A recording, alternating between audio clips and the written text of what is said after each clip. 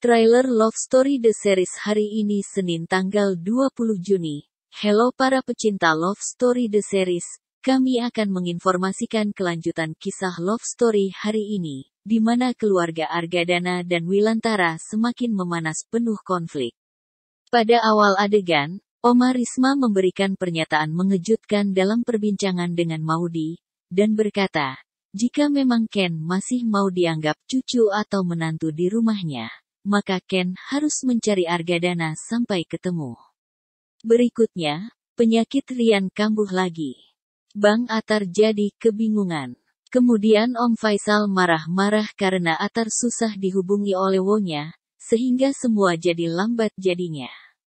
Di sesi lain Papa Wilan dihadang oleh para preman, kemudian Ken datang menolong dan menghajar preman tersebut.